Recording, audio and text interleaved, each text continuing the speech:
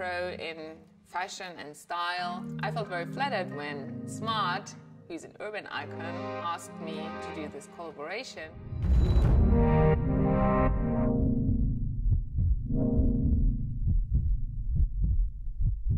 This shooting is an absolute highlight, first of all because I got to see my car for the very first time. It was really like real time, first time seeing it.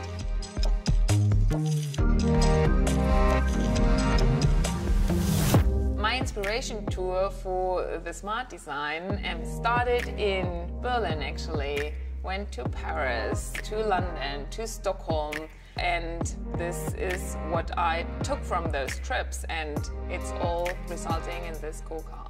For me, it was really exciting that this is like totally tailor-made to my taste. I am so looking forward to, you know, finish the shoot and take the car on the streets.